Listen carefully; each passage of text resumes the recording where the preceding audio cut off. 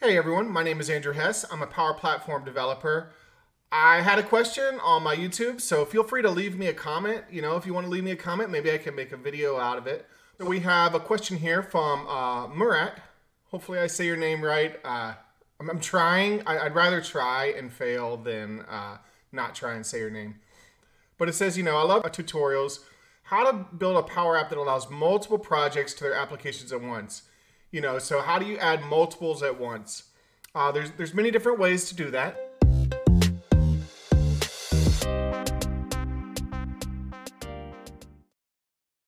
Let's let's focus on that main question though. All right, so I'm going to create a blank uh, Power App.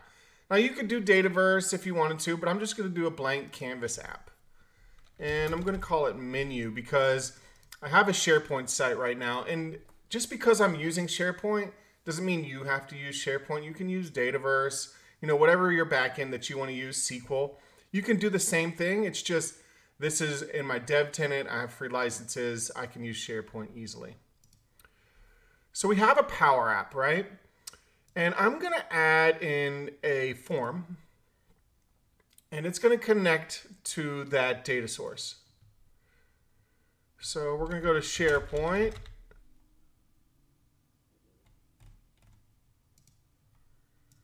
And I'm going to connect to my new site, which is called Favorite Food. So just pretend that's your project site. And I have a list here called Menu. Now I'm going to connect to it. And then in my data source at the top here, I'm just going to connect to that SharePoint list. And it's going to bring in all those fields in here, right? So, you know, maybe you have attachments, maybe you don't. Attachments is not necessary. We can take it out. We have a few different items. Maybe the title is a little bit longer, the food type, the calories, and the allergies. Now, one thing that I showed before in a previous video is how to make like some space in there. One great way to add space is to go to edit fields, is to actually come right over here. You see add a field, then come to the three dots right here. We can add a custom card. And so this custom card, we can add some space in there. You know, maybe we want a title, we want to name some things out.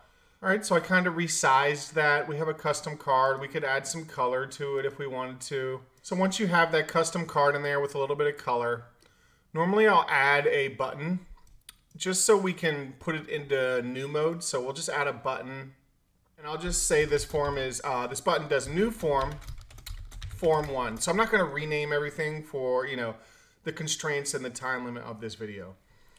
So now we have a button, we hit play, and our form becomes new. And you notice that, you know, it's a nice little blue title bar here. We can add our own text if we wanted to, text label, you know, and put in details. And probably center it, you know, is probably another thing we would like to do.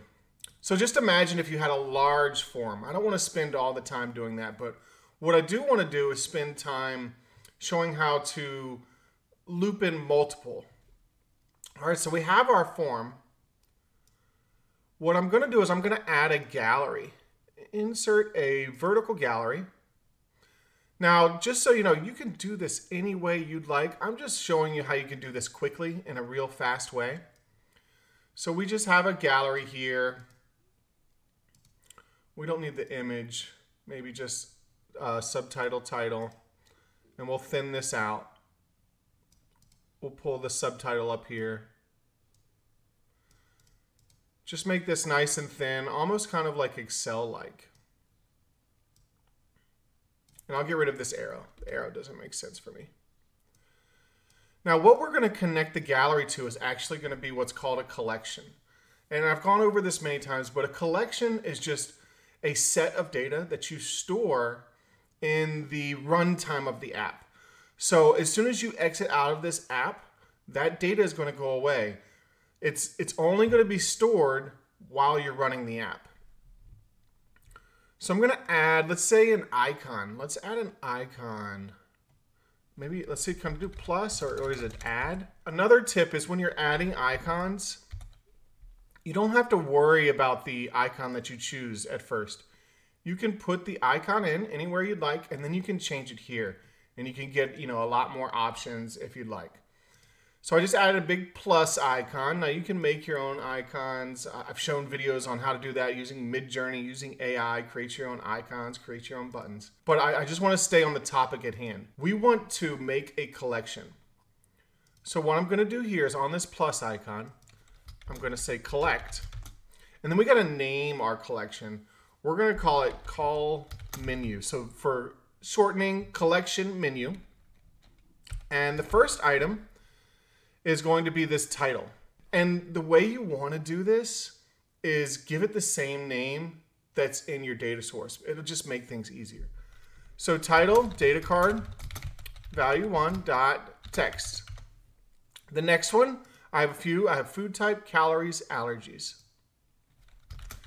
Food type, data card, value two dot text.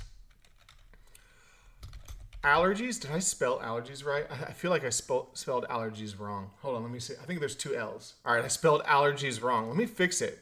I make mistakes. Sorry. Things happen. We'll be all right. Let me spell allergies correctly. And you know, this kind of goes into it some more. Just, it's good that I make mistakes. I'll hit refresh. And you notice now it fixed the spelling. So if you ever make a little spelling mistake, uh, let's go into a little bit more. So check this out. So if you look up in here, we're in SharePoint. Now you can see the name is allergies, but actually SharePoint created this field like in a hidden behind the scenes field. If we click on allergies, you'll notice that my column name is allergies. I spelled it correctly. But the internal hidden name that SharePoint gave the column is actually still misspelled. You can't fix this, right? It's still with one L. So if you're ever doing real coding, you got to think about that. Just because you rename something doesn't mean that's what the internal name is in SharePoint. That's just a random tip. It comes up. Uh, sometimes people get confused, but you can find that real name if you go to the URL of that column. All right, so now we're back. We fixed allergies here. It's now correct. So we're going to spell it right here. Allergies and that's going to be data card value 3 dot text. Okay, now we're going to do, looks like I, I have the wrong order, so this must be data card value 4. So that is 4. We'll connect it correctly. So this is 4. And now we want calories. All right, so let's take a look at this collection here that I created. So I'm collecting. The name of my collection is called colMenu. I gave that my name. That's the name that I came up with. The first one we're going to write to write to the first field column that we're going to write to is title, then food type, then allergies, then calories. And you notice it's just each one of these text boxes. All right, so we've created a collection. Every time we hit this plus button, it's going to create a collection of those field types in the memory of the app. So the gallery here, we're going to replace it with our collection. And so we'll write in a title like spaghetti. The food type is pasta. And we'll say the allergy is wheat and calories um, 350. And so we'll hit plus. Now I didn't write anything in here. Let me put in the labels so we have wheat, so that's good. Let's bring in the allergies. Let's make this title. And the next one we'll make over here the food type. And then we'll have the allergies.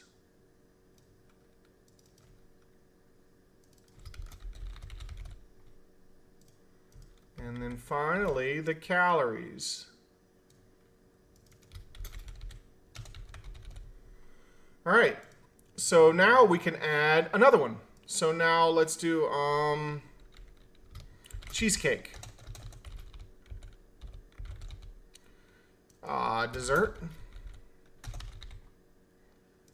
Allergies, um, milk. Calories, it's, it's up there.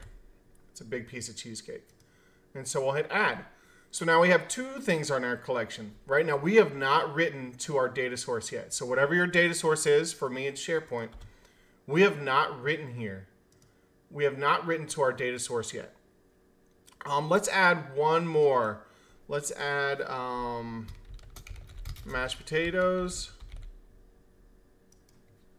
food type, um, side item, allergies. I don't know all the allergies. I'm sorry uh, people. We'll just say this one has none.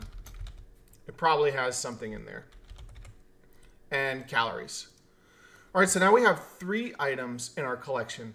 Now the next thing we want to do is write all of these to our data source. So this is specifically from your question. So now that you have the collection, we need another button or icon or, or whatever you want to do. And this icon is going to write to data source. All right, so this icon right here is going to write to the data source. In the icon, what we're going to do is we're going to do what's called a loop statement, or, or that's the way I think of it. In, in Power Apps, it's called for all. So it's for all.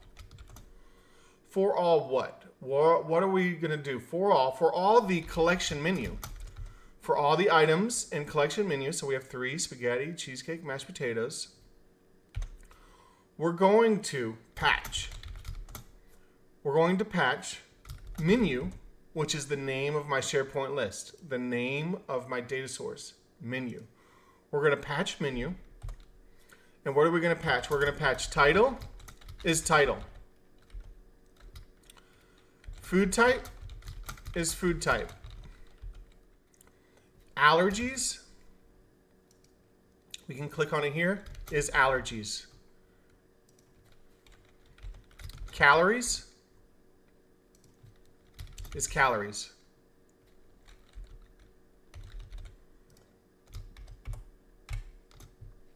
So we need our ending parentheses, two of them. Now, after we write, what we want to do is clear the collection. So I'm going to do clear after a semicolon here, so we need a semicolon. We're going to clear call menu after we write to the data source.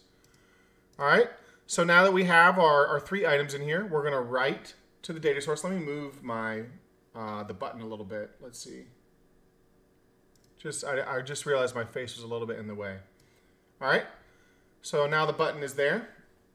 So this button, now we're going to write to our data source. We're going to hit the right button. It's looping through for all, writing to SharePoint to our data source. We refresh. Boom. All three of those items have now written.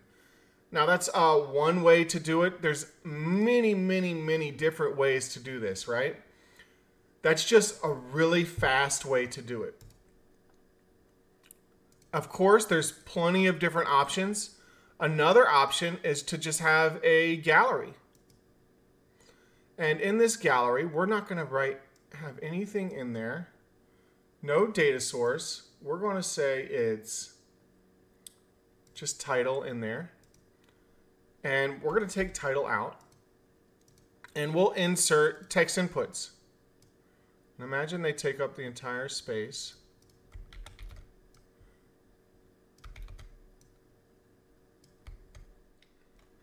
All right, we have text inputs in there. We press play. We have a few text inputs. We're going to create another collection. So in this button, we're going to create a new button. In this button, we're going to create another collection. So we're going to do collect um, my input. And we're going to collect the same things over again. So title, but we're going to do blank. Uh, we're going to do, what is it? Uh, food type, blank. Allergies, blank. Calories is blank. All right, so now we're creating another collection. In here, in our gallery, we're going to set this up as my input, the name of the collection. So now when we hit play, you can see it's blank but every time we hit the button, we get another line. And then we need a clear button. So this button is actually going to clear my input. So this will be clear. And this will be new line. So clear, new line, etc., etc. We can now remove the text input part in there, make this blank.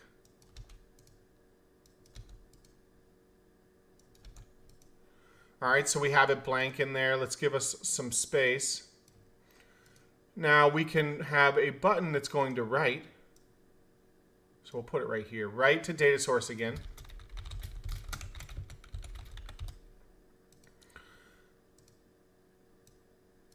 Write to data source. We have input one, underscore one, two, three.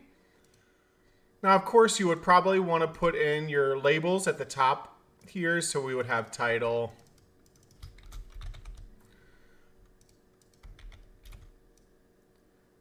Food type.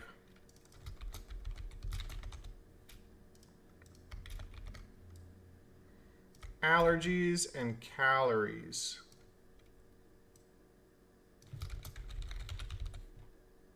Oh, did it in the wrong order, but we'll fix that. All right, so this is actually here and allergies is here. Now, of course, you want to make this pretty. I'm just, you know, going through this quickly. You would want to make this, you know, perfect, work on the CSS yourself. Okay, so now when we write to data source, we're going to do the same thing. We're going to do the for all. For all.